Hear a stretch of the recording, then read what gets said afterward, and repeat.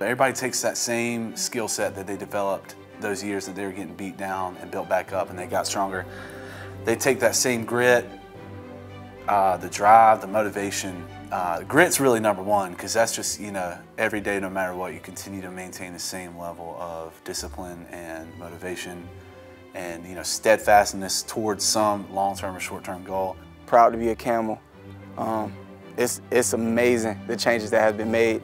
Um, once I'm done here, I'm going to take my, my wife and my child and I'm going to walk around some of the spots that I walk and just to get her to see it and just to, this is where we met. This is where me and my wife met. Um, we walked these same halls.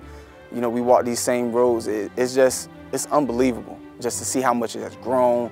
The buildings, the structure, it's just beautiful. It's beautiful. And the new new stadium here behind us uh, is, is beautiful. The, the, the facilities here now are, are top notch and, and, and I think kids really want to come play for Campbell football. If you saw the campus that I showed up at in college, you would not believe that this is the same place um, just a couple years later.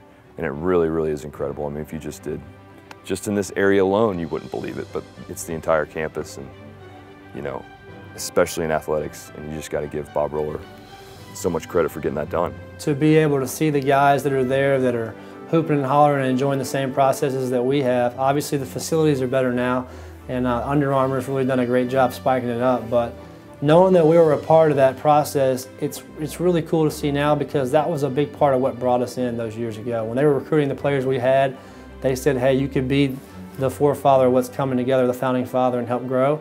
And obviously, it's already taken a tremendous stride that way. Going to the Big South obviously is a big deal too. Yeah, they have 11 guys on the field when they're playing, but it's way more. It's way more than just that. You know, they're, they're playing with some with some true, and I say legends that played in their spots before them that are still playing with them. You know what I mean? Through uh, through their own success.